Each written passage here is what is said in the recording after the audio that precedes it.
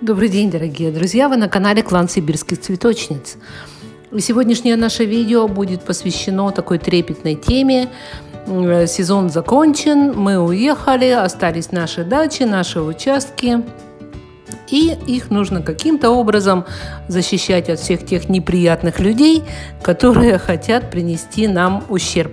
Я имею в виду дачных воришек. Мы сегодня не будем обсуждать э, проблемы коттеджей, например, э, там дорогостоящие какие-то варианты. Мы попробуем обсудить э, вот такие четыре позиции. Значит, что воруют с дач? Э, отпугнет, ли какая-то конструкция воришек?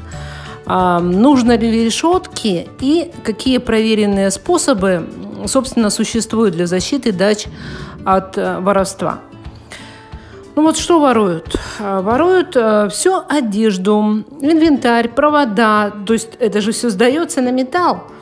Вот, э, весь металл. Э, могут вытащить окна, могут э, вытащить посуду, генераторы, шланги. То есть все-все абсолютно.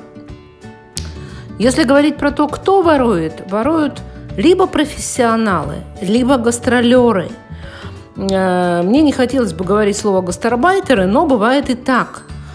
А, значит, если э, совсем уж разозлить этих людей, то они могут и э, спалить эту дачу, или если оттуда нечего взять, они могут устроить просто ночлежку. По поводу того, отпугнет ли какие-то, отпугнут ли какие-то системы. А, имитация видеонаблюдения, то есть это камера, просто камера не подключенная, она дает очень большой эффект. А, то есть, если поставить камеру такой или несколько камер, то злоумышленники, вот эти самые жулики, а, они будут их видеть, и это не может пройти бесследно. Кроме того, можно поставить датчик движения. А, то есть, если какое-то движение, то загорается свет, прожектор, и это психологически очень даже сильно действует. Обязательное условие можно распечатать табличку о том, что охраняется фирмой охраны такой-то, вот, и, может быть, поставить мигающие красные светодиоды. А, гастарбайтеров отпугнет – а, профессионалов, которые приезжают с отмычками, с инструментами на грузовой машине, но, наверное, нет. Они просто затаятся, посмотрят, что не приезжает никакая охрана и продолжат свое черное дело. А, есть такой сложный вариант, называется ложное присутствие, когда там программируется освещение и загорается свет в определенное время, там включается телевизор, но это тоже такой вариант скользкий, потому что, ну, во-первых, это нужно иметь постоянное электропитание, а во-вторых, а, ну хорошо, свет загорается, загорается, а снег лежит, и снег не утоптан. Ну, соответственно, как бы уже смотрится это неправдоподобно, что вроде как не может быть такого, чтобы снег не утаптывали. По решеткам значит, тут э, советуют решетки не снаружи ставить, а изнутри. А, потому что изнутри решетки поставленные, они требуют гораздо большего времени, чтобы их снять.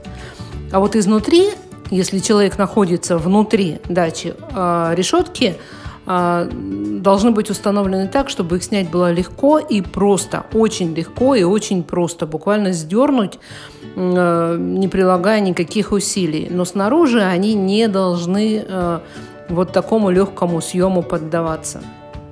Это специальная э, конструкция, просто посмотрите, это раздвижные решетки, либо съемные.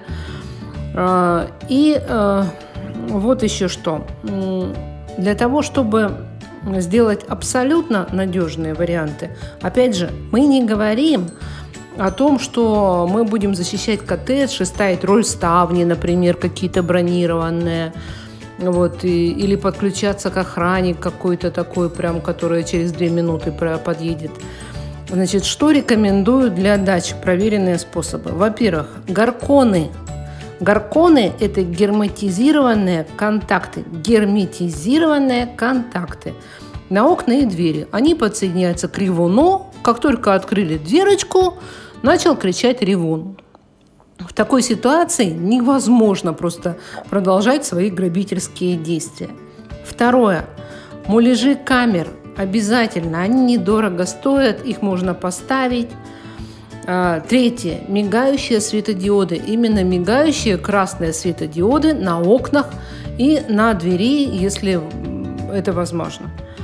И четвертое. Таблички. Охраняется и название фирмы, которая охраняет. И еще одна табличка. Ведется видеонаблюдение.